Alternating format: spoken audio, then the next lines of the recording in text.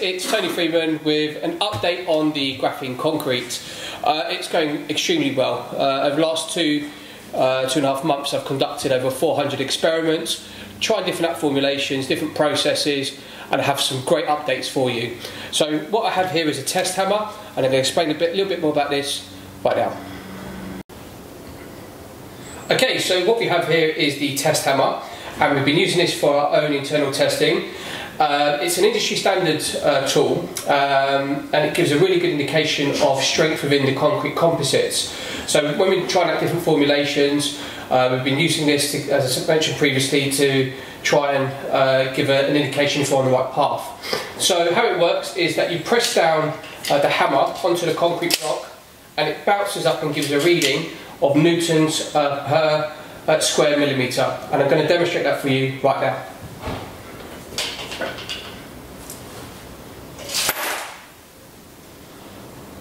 Oh my god, that's 52 newtons.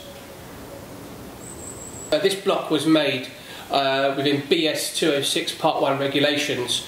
Um, it's really important that that's obviously highlighted.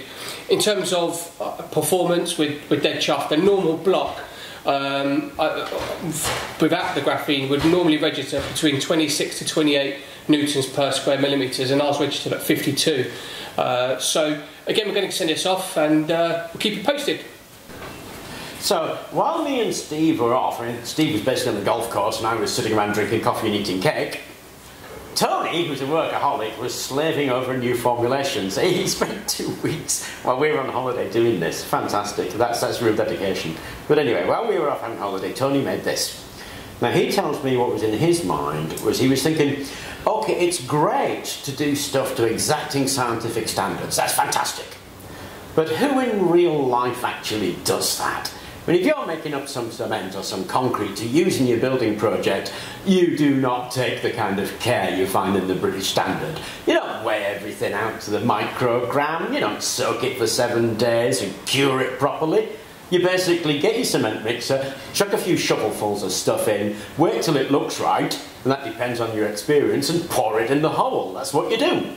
And in his mind, it was it's great to have such nice results because you can get cross comparison, but what would you actually get if you did it in real life? So Tony did an approximation of real life. Essentially, he just got some stuff, chucked it in, mixed it up, poured it into the mould, stuck it outside for a week. After a week, he dragged it back in to see what it was actually like, and he measured this one. And this is a result of Tony's um, real life simulation. And this has a really fantastic result, actually, despite the complete and utter lack of care. The graphene added to this concrete produces a strength of material that exceeds what you would expect from a carefully cured block. It's awesome. Tony will give you the figures in a minute, but that's just a fantastic result because this actually represents what you would do in reality. Of course we're doing the scientific stuff because we need the comparison. But we're really interested in what you'd get if you were making it. Thank you, Rob. Okay, so a test block um, would register between 14 to 16 newtons uh, per square millimetre um, after um, seven days. After 28 days, it would register between 26 and 28. And our block, which we basically left in really bad conditions, registered at 26 newtons. Now that is pretty cool. Right guys, so uh, what's just occurred to me is we have a massive concrete car park out there, so we're just going to do a, a random test to see what the strength of the concrete of the car park is.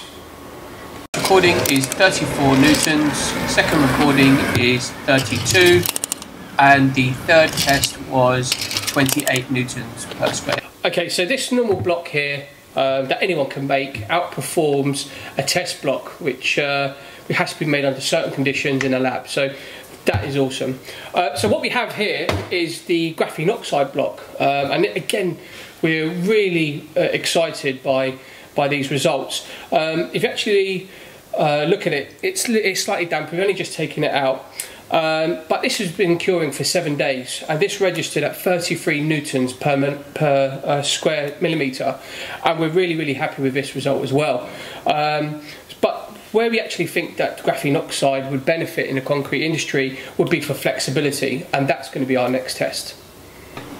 Right, guys, uh, we've had some amazing results, and we're going to send this off for independent verification.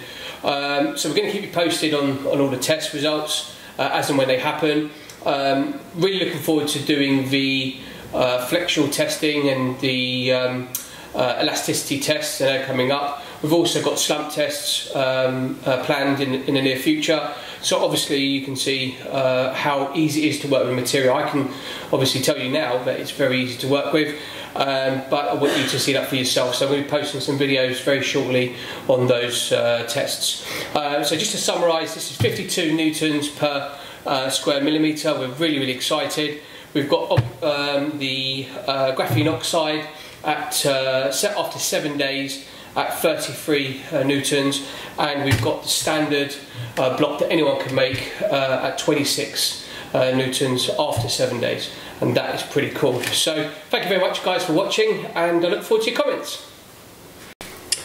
Okay, so this block here, obviously badly made uh, under uh, really poor conditions, um, outperforms a normal block. Uh, look at that! right.